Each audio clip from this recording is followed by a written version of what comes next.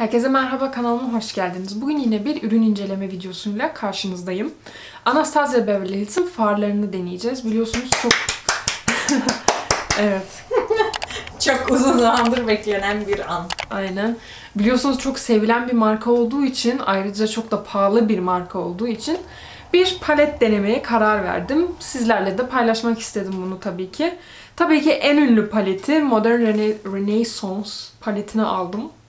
Bu paleti seçme nedenim dediğim gibi zaten en ünlü paleti bu olduğu için bunu seçtim. Ayrıca renk açısından en çok bu paleti beğendim. Büyük paletleri de vardı. Norvina diye yeni seri çıkardılar. Onlar sanki kalite açısından bir tık daha iyi gözüküyordu. Ama renk açısından bana çok karma karışık geldi. Hiç benlik olmadığı için ayrıca fiyat açısından da çok çok pahalı olduğu için bunu seçtim. Daha paleti hiç açmadım. Yani beni ne bekliyor bilmiyorum bile. Umarım farlar kırık falan değildir. Hemen açıyorum. Kartonunu gördünüz zaten. Pek bir özelliği yok. Farlar nerede yapılıyormuş onlara bakalım. USA yazıyor yani Amerika'da üretiliyor. Yani çok da bir şey yazmıyor aslında. Tabii ki hayvanlarda denenmiyor. Bu kadar. Yani içerikleri bayağı kalabalık aslında. Arkasından belli oluyor. Şimdi ambalajdan biraz bahsetmek istiyorum. Dışı e, süetimsi bir kadife daha doğrusu aslında. Bakayım mı? Güzel. Kadife bu değil mi? Evet kadife. Kadife dokuya sahip bir palet. Böyle bir paletim hiç olmadı. Ama muhtemelen bu palet çok çabuk kirlenecek. O yüzden Evet. dikkatli olmanız gerekebilir. Açıkçası kenarlarının kartondan olması hoşuma gitmedi.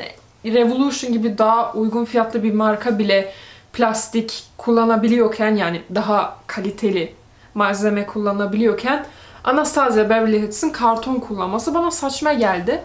Ama diğer karton ambalajlardan çok çok daha ağır. Yani fiyatını belli ediyor aslında.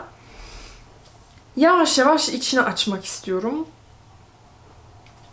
Açamıyorum. Hı, açtım. Şimdi şu klasik folyomuz biliyoruz bunu. Aynası güzel gösteriyor. Kaliteli ama açıkçası biraz küçük. Ama far uygulamak için uygun. Ayrıca bir fırça geliyor. Bunu da deneyeceğim bugün. Çok kaliteli bir şeye benzemiyor aslında ama. Şöyle bir fırça. Açıkçası Urban Decay'in paletindeki çıkan fırça daha kaliteli. Bunu pek beğenmedim. Ayrıca çok kısa fırçalardan da zaten hoşlanmıyorum ve çift başlıklı fırçalardan da hoşlanmıyorum. Ama bunu da deneyeceğim. Bu palette en beğendiğim yönü şöyle geriye katlayabiliyorsunuz. Ayna yani arkada kaldı. Çok pratik oluyor böylece. Farları biraz göstereyim.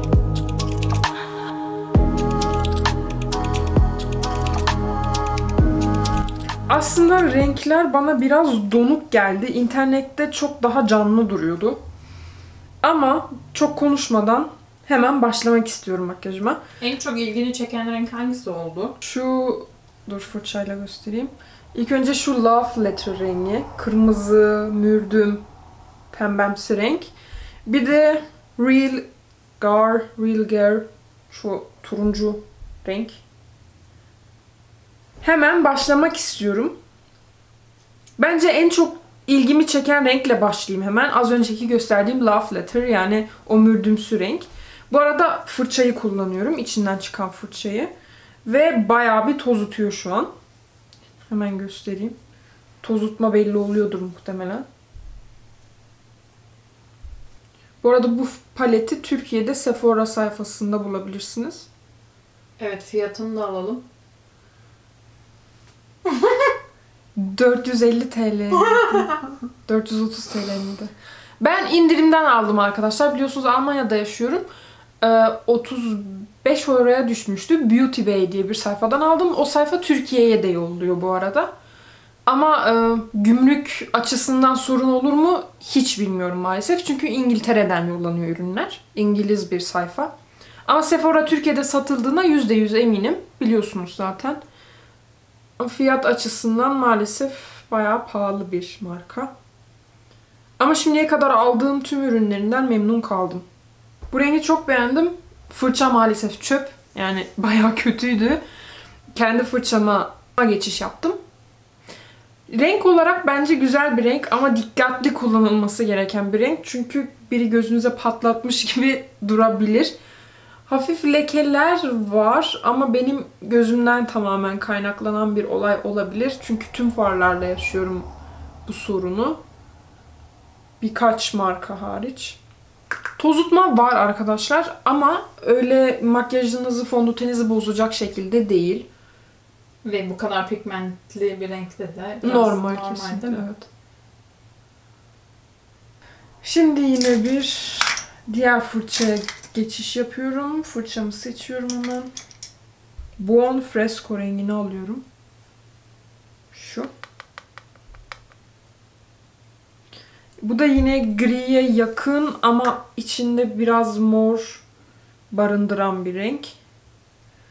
Bunu da Love Letter renginin üzerine zaten far nasıl uyguluyorum artık biliyorsunuz galiba arkadaşlar. Ama buna da ekstra bir vi- video isterseniz daha detaylı anlatmam için yorumlara yazabilirsiniz. Ve abone olmayı da lütfen unutmayın. Renkler birbirine çok hızlı e, karışıyor. Geçişler çok soft oluyor evet ama sanki bir renk kullanmışım gibi duruyor maalesef. Tabii bu renklerde çok e, muadil çıktı. Zaten ben de Wet n Wild'ın e, bir paletini göstermiştim bundan birkaç video önce. E, gerçekten bu renklere çok benziyor palette o paleti de çok beğenmiştim. Yani gerçekten e, renklerini beğen beğeniyorsanız bu paletin ama o kadar para vermek istemiyorsanız Wet n Wild'ın o paletine bakın derim kesinlikle. Yine bir fırça değişikliği. Tempera, Tempera neyse artık hiçbir fikrim yok. O rengi alıyorum. Ve kenarlarından geçiyorum. Çünkü dediğim gibi renkler aşırı şekilde birbirine karışıyor. Daha yumuşak olmasını istiyorum. Şu an tamamen memnun değilim makyajımdan ama bakalım nereye gidecek bu video. Hiçbir fikrim yok. Hmm. Real Techniques fırçamı alıyorum en sevdiğim. Bence en koyu rengi de bir deneyelim. Bakalım lekeli mi? Cypress Amber rengini alıyorum. Yani bence pigmentasyon açısından konuşmamıza gerek yok. Palet kendini belli ediyor bence. Bir kahverengi için bence çok çok pigmentli.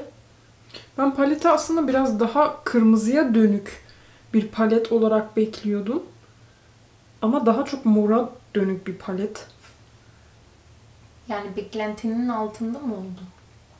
Altında değil ama renk açısından biraz e, Farklı. kandırılmış gibi hissediyorum. Yani internette renkler tabii ki her zaman biraz daha başka çıkıyor.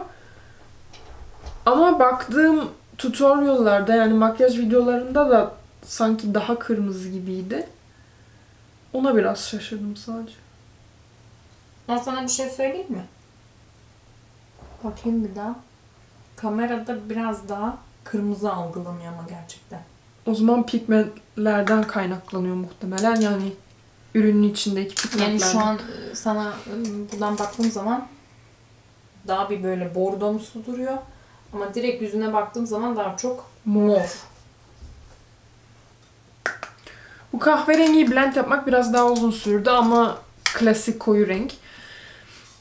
Şimdi aslında çok e, simli renk yok burada. Sadece iki simli renk var. iki de metalik renk var. Şaşırdım aslında biraz. O yüzden Venetian Red rengini alacağım. Venetian Red. Bu rengi de alıyorum. Yani farların hepsi toz tutuyor. Bunu anladım şu an. Ama tamamen pigmentinden kaynaklı olduğunu düşünüyorum. Ve sonunda bordo bir renk. Renkler aşırı şekilde birbirine geçiyor. Sanki bir farı alıp blend yapmış gibi duruyor şu an. Biraz rahatsız etti beni. Yine paletin içindeki çıkan fırçaya bir şans daha vermek istiyorum. Bu sefer hmm, Primavera rengini alıyorum. Bir simli renk deneyeceğiz. Evet. Bence farı ıslatmamama rağmen Kesinlikle başarılı. Bir şey söylenemez. Bir de parmağımla denemek istiyorum. Bu arada farları ellememiştim. Dediğim gibi paleti ilk defa açtım. Bayağı yumuşakmış farlar. Şu an fark ettim. Diğer sinir rengi Vermeer. Tof Tof isimler. Şu rengi de üzerine ekledim Primavera'nın. O rengi daha çok beğendim. Sanki onun pigmentasyonu bir tak daha iyi, daha parıltılı. Ve gerçekten çok yumuşak farlar. Yani parmağımın izi kaldı farların içinde. Gerçekten yağ gibi. Küçük bir far fırçasıyla Real Gar rengini kullansam Red Ochre mı? Red Ochre rengini kullanacağım ben galiba. Şu renk. Bu rengi de gözümün altına.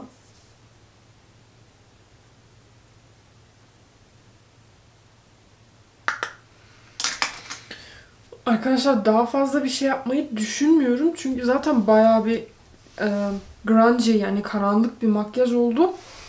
Biraz planladığımın tarzında olmadı. Daha farklı bir makyaj oldu kesinlikle. Tamamen memnun muyum? Bence uzaktan baktığımda o kadar kirli, lekeli gözükmüyor makyajım. Gerçekten e, farlar buradayım diyor pigmentasyon açısından. Ama yakın baktığımda makyajımdan pek memnun kalmadım. Ama bunlar bence farın kalitesiyle alakalı bir olay değil. Tamamen benim bu tarzda farlara alışık olmadığımdan kaynaklı bence. Çünkü benim pahalı paletlerim var mesela. Too Faced var, Urban Decay'in paleti var, Jeffree Star'ın paletleri var. Bundan bahsetmek istemiyorum ama. Ee, daha ne var öyle pahalı palet açısından? Tarte var. Biliyorsunuz Tarte en sevdiğim palet. Ama böyle yumuşak, bu kadar yumuşak yapıda far hiç kullanmadım şimdiye kadar. Ve neredeyse hiç blend yapmanıza gerek kalmıyor. Çünkü far öyle bir oturuyor ki diğer farın üzerine. Sanki zaten 3 saat blend yapmışsınız gibi duruyor. Ben galiba biraz uğraşarak hata yaptım. Farlar çünkü birbirine aşırı şekilde karıştı. Sanki sadece bir far kullanmışım gibi duruyor. Özellikle şu bölgede. Şu bölgede aslında 3-4 renk kullandım ama sadece bir rengi alıp blend yapmışım gibi duruyor. Siz de fark ediyorsunuzdur bence. Ve şu renk o kadar mor duruyor ki Love Letter rengi. Yani palette böyle bir renk yok aslında. Ma- e, maalesef bence kahverengiden kaynaklanıyor. Bu kahverengiyi ekledim buraya blend yaptım. Bu sefer renkler birbirine karıştı. Aşağıdaki renkle üstteki renk şimdi hiç birbirine uymadı. O yüzden bir daha Venetian Red rengini alacağım. Ve aşağıya bunu biraz oturtacağım. Aynen bir tık daha iyi oldu sanki. Ben maskaramı süreyim. Biraz eyeliner yapayım. Yani göz kalemi yapayım. Sonra yine sizlerle. Makyajımı bitirdim arkadaşlar. Bence dediğim gibi uzaktan hiç fena durmuyor. Kamerada nasıl duruyor? Güzel.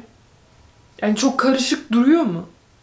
Çünkü yakından baktığında gerçekten... Tam tersine hani de, deminki dediğin gibi hani sanki bir renk sürmüşüm gibi duruyor daha çok. Değil mi? Tek işte renk. geçişler çok fazla Evet. olduğundan Hani dolayı Şu kaynaklanıyor galiba. kısmı hani 3 veya 4 renk kullanmışım gibi duruyor. Ki halbuki 7-8 renk kullandım. Bayağı bir renk kullandım evet. Yani böyle 1, 2, 3, 4. Yani 3-4 renk kullanmışsın gibi. Ama yani hoş bence. Güzel oldu. Yani dediğim gibi arkadaşlar bu yapıda far hiç kullanmadım. Koleksiyonumda da yok. O yüzden insanların bu paleti neden bu kadar sevdiğini anlayabiliyorum.